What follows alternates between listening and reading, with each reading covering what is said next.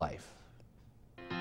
American poet and author Henry David Thoreau once said, Many men go fishing all of their lives without knowing that it is not fish they are after. Got him. For Big John Adams, chasing his life's passion trumps chasing walleyes. It was one of them things where, you know, three, four years ago, Jane Jane took a job, my wife here, and, and uh, she took a job at the school, and, you know, I was kind of panicked a little bit, wondering, you know, what am I going to do? And what Big John has gone and done is start a new career. At a certain age, you know, things are a little bit more of a challenge. Woohoo! There we go. Um, but I think, you know, I've always been in the customer service business. Um, I've always been around people. Um, it kind of comes natural for me. So naturally, at that certain age of 49, John gave up his 9 to 5 in the hotel business and is now a first year fishing guide, a rookie, so to speak, on Devil's Lake. We talked about it, and you know, he's like, I really want to do this, but I'm not sure. What do you think? And I just said, you have to try it. It's it's so worthwhile if it works. And and I mean, it's how could you say no? I mean, you can't. It's just he's he's a good guy. Originally hailing from western North Dakota, Big John's passion for learning Devil's Lake took a little time, patience, and a checkbook. You know, I spent I would say anywhere from five to seven thousand dollars on guides. We'd come up here and he would use every guide service I think Devil's Lake had to find to teach him how to fish the right way. And they would take me out and we'd catch fish and sometimes I would even go alone. Walleye, John. You got one there too? For this Adams family, there's hardly anything crazy or kooky about them.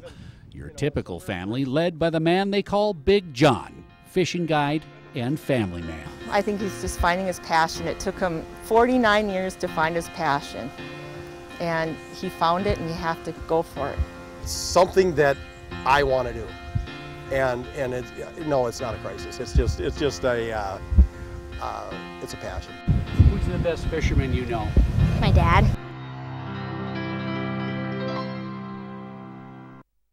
Big John says wheels or four hooves on the new Pembina Gorge Recreation Trail. Carved from rushing waters millions of years ago lies the Pembina Gorge, a natural North Dakota wonder shared with Canada that has recently given birth to a new opportunity for all to explore its splendor. Pembina Gorge State Recreation Area. There was a need in North Dakota um, for something for you know the ATVers to use.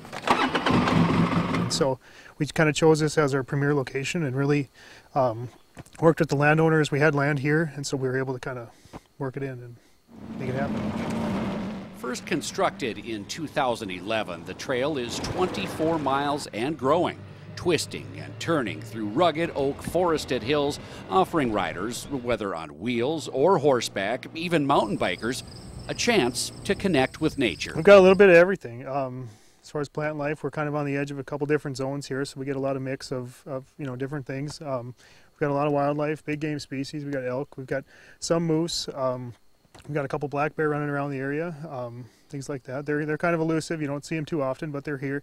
Um, we're getting a lot of uh, a lot of birds. A lot of you know, this is a good place for birders to come.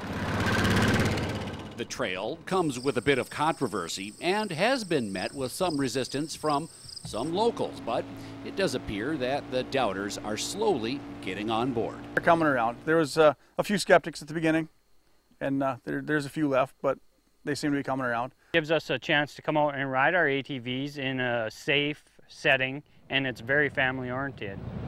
Almost every weekend I see a couple more couples out of Walhalla come out, and, and we've got a few people out of Pembina coming around now and Neche, so it's starting to pick up with the locals locals and those traveling to Walhalla to make the Dusty Trail their destination, providing a boost for the local economy. My in-laws came up last weekend and couldn't get a room at the hotel because there wasn't any. So right. And I don't know how many of those people were out riding, but there was a few. I seen a few of them out. Tell me about uh, your office. this is it. Look around. It's beautiful. One of the paleontologists suggested last year that we hang a picture of a cubicle on a tree somewhere, just to for the irony. As far as views, I mean, it doesn't get much better than this in North Dakota. Well, the trail is not open to snowmobiles in the winter, but is open to snowshoeing and cross country skiing. A lot of fun to be had. A large herd of deer is causing problems for the town of Hallock. So much, in fact, that the city leaders are planning, in conjunction with the Minnesota DNR, a special permit only bow hunt this fall. The population may say 981, It's definitely a problem, you know. but every evening it's the same old thing. My neighbor's mom called up. She's 92 years old, and uh, she said that she couldn't get this deer out of her bird feeder. Hundreds of deer, so many coming into the small town of Hallock, the residents are fighting back. And he pulled up in the yard, and there was this 92 year old mom standing out in the yard with a hammer, and she's throwing it at the deer.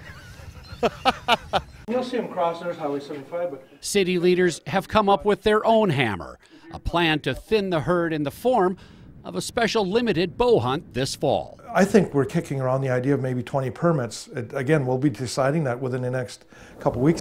Noel says not everyone is buck wild about the idea of culling the herd and that the town residents seem to be split 50 50 on the idea. There's some that are thinking, are you kidding me? Are you serious? This, not, these aren't rabid skunks we're talking about. Oh, yeah, I've seen a lot of nice big bucks in town, yeah. And then there are others that just think enough is enough. there isn't a time where you can't, you can't count 25, 30 deer in town.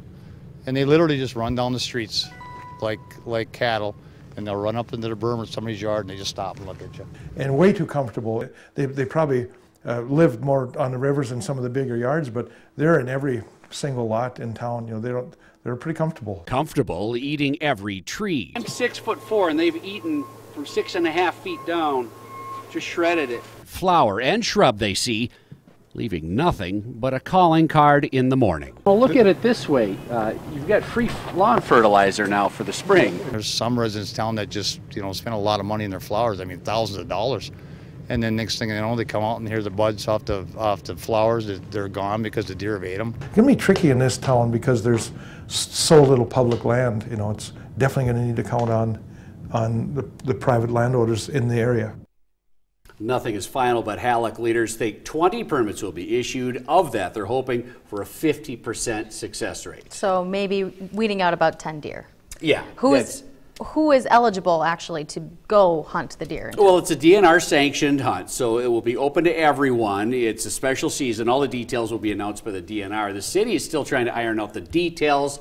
They're consulting with other cities like Warroad and Two Harbors who have had successful hunts like this in the past. So stay tuned. Well, that was a good story. Thank you. Thank you. Many American crystal sugar